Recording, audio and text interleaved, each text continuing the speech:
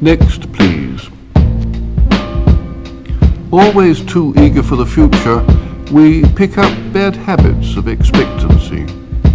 Something is always approaching, every day, till then.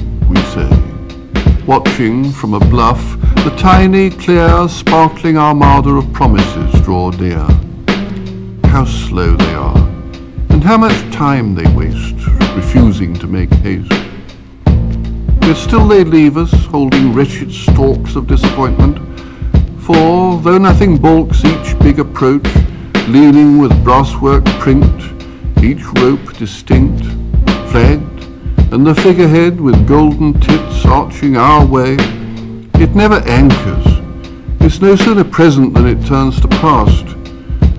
Right to the last, we think each one will heave to and unload all good into our lives all we are owed for waiting so devoutly and so long. But we are wrong.